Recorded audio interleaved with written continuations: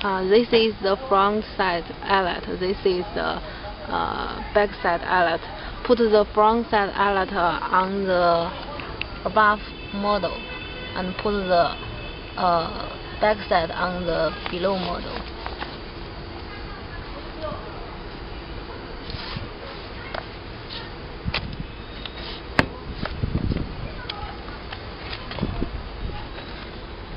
Okay.